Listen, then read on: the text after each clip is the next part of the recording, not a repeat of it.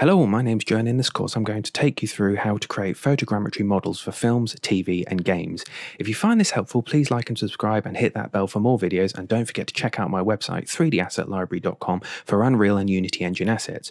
Also, if you find this helpful, please check out my Patreon below for exclusive content relating to photogrammetry, game. So in this video, we're going to quickly talk about um, the turntable. So this is just a simple turntable that I've bought off of um, Amazon. I think it cost about seven dollars, something like that, seven quid, seven dollars.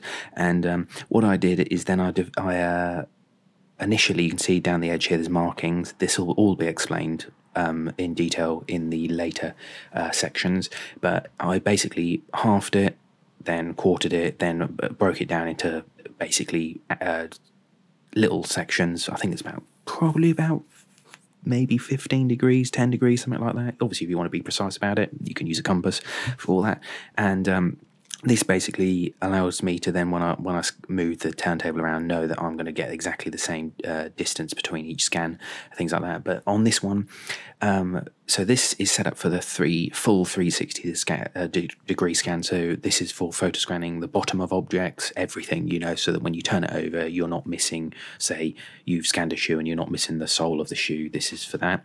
Then um, for a normal photo scan, so say you just wanted the um, top of the shoe, and you didn't want to see the sole, what we will do in a later video is that we will basically create a random pattern over the top of this. So it'll be like random squiggles, you know, whatever. So you literally just get a pen, create squiggles all over the top of it, so that when the software's looking at it and the turntable's turning, um, it knows that it has to line up the, the squiggles with each other in each photo that appears. So you know you get you get very very good fast results.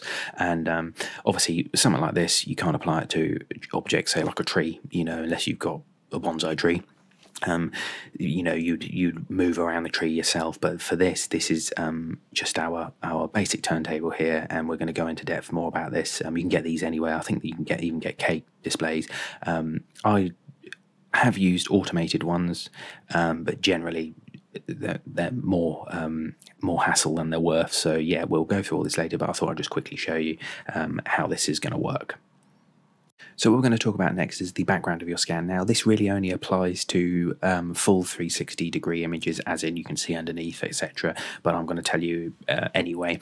Um, we look at this boot here, so we're back to the the the boot again, and you'll see that this stands out completely from the background. There is no conflicting colours. There's no, you know, it's it's not like this has got say white laces, things like that. Everything in this boot does not conflict with the background.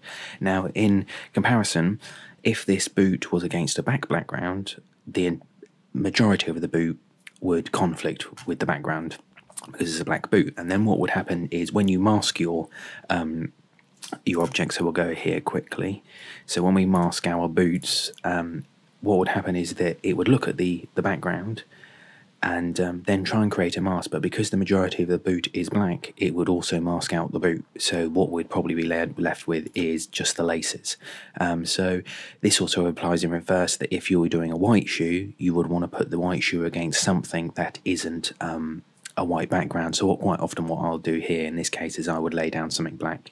Um, in the, if I was say photographing a white shoe, is I would flip my um, uh, turntable over because it's black on the other side, and then I would lay down something black. Could be a black shirt, for instance, or it could be, you know, I have proper black uh, sheets of uh, material that go in here to, to make it completely black. So then the, the white shoe is against a black background.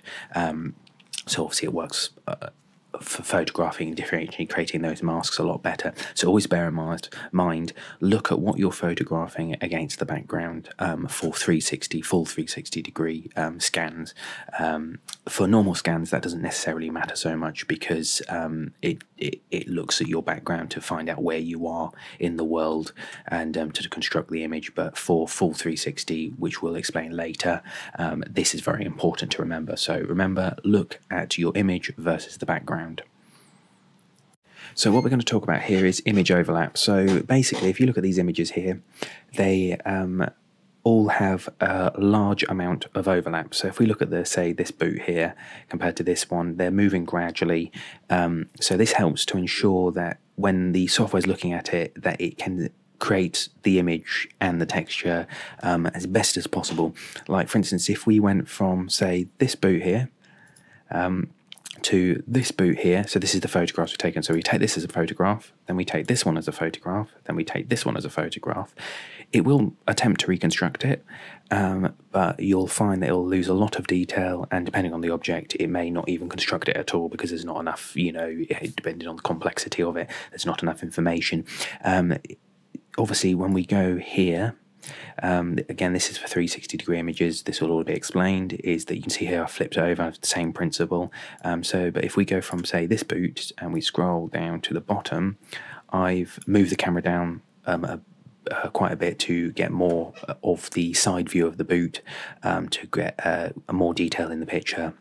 Uh, in the scan, sorry, um, but you can see here same principles being applied.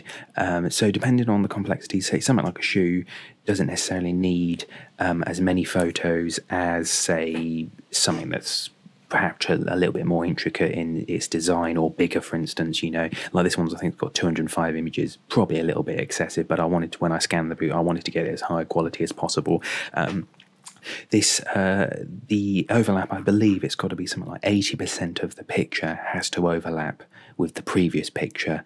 So you know you look here because it's gradually uh, it's only gradually moved we've still got a lot of overlap of the previous picture whereas if we went from that picture to that picture there's not very much overlap. So when you're taking photos if your scans aren't coming out um, well it could well be the amount of overlap you've got from your um, your initial images. So always bear that in mind. But again we're going to be going through this so don't worry